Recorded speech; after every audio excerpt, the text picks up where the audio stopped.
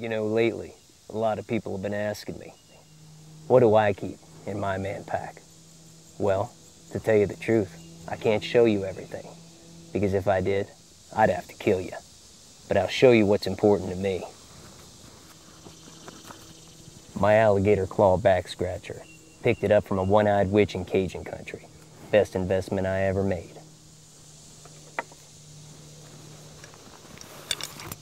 A muskrat trap, number one, single long spring, leg hold.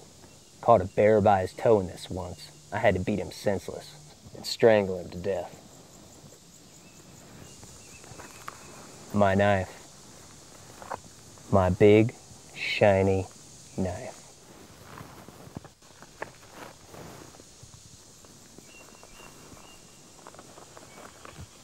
And my pet rabbit. I like to pet him when I'm feeling stressed. But if I was in a survival situation, I would eat him and wear his fur. Why do I carry all these things? Because I'm a man. I'm a man with a man pack, and I'm always prepared.